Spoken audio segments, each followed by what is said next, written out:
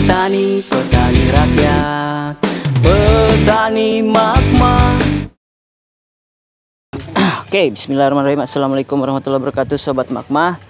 Ya, kita pagi ini akan memberikan pakan alternatif Yang menurut versi kita baik ya untuk kolam. Nah, nih kita berikan yang namanya CCM sobat. Yang satu tadi udah habis ya sobat ya. Jadi saya berikan tali di sini Lihat, habis sobat tuh. Ya. Oke sobat magma kita buat tiga ya tiga bagian ya. Untuk pakan alternatif. Nah seperti itu ya sobat magma. Ya. Kita lihat bagaimana reaksi dari ikan lele kita.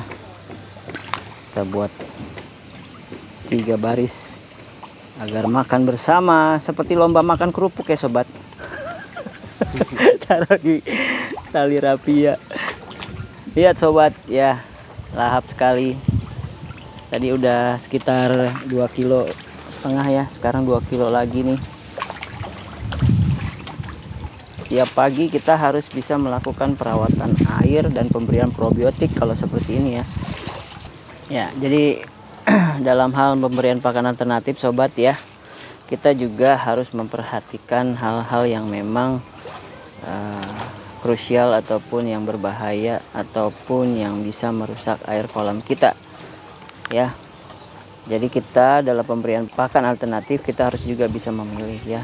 Contoh yang aman sih untuk saat ini ya CCM ini masih aman walaupun bisa merusak air ya dari kolam kita. Tapi paling tidak ya kita harus ekstra ya dalam hal uh, perawatan air kolam ya. Ini sobat magma kita petani magma hanya ingin menunjukkan bahwa uh, pemberian pakan alternatif yang mungkin bisa kalian berikan itu paling tidak jumlah kilo yang harus kalian pikirkan adalah berapa perbandingannya antara pelet ya terutama dari kandungan protein ya.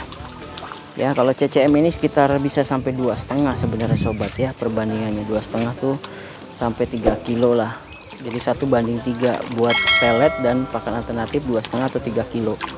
Jadi ketika kalian biasa beri 2 kilo maka pakan alternatifnya sekitar 6 kilo ya. Atau sekitar 5 kilo ya. Jadi seperti itu sobat ya.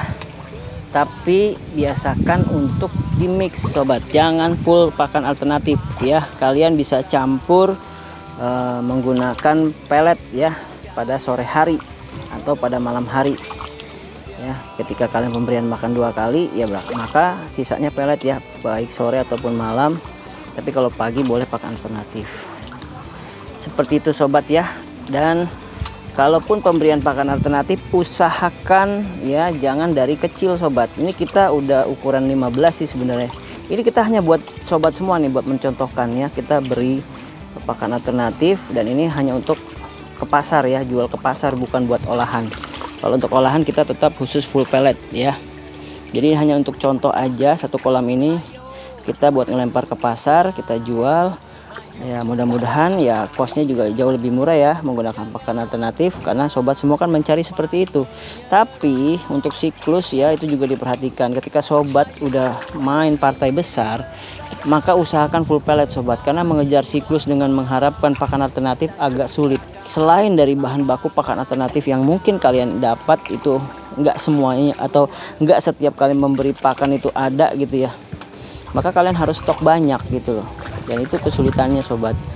Tapi kalau memang bisa ya nggak ada masalah sobat ya. Itu semua hanya pilihan di tangan anda. Jadi kalau kita tetap untuk siklus panen yang terbaik menggunakan full pellet tapi ini hanya membuat kalian juga semangat dalam berbudidaya bahwa pakan alternatif bisa asal di mix dan jangan dari ukuran kecil. Usahakan ukuran udah sangkal ya. Ya sekilo 30 atau sekilo 25 ya itu udah boleh. Dari dari situ mulainya. Oke sobat. Seperti itu ya cara kita pemberian pakan alternatif menggunakan CCM ya mudah-mudahan kita akan cek selalu tiap hari apakah akan merusak air ya. Untuk esok hari kita coba lihat juga. Oke terima kasih Salam hangat dari petani Makma. Wassalamualaikum warahmatullahi wabarakatuh. Ayo mandiri bersama petani Makma. Kita ciptakan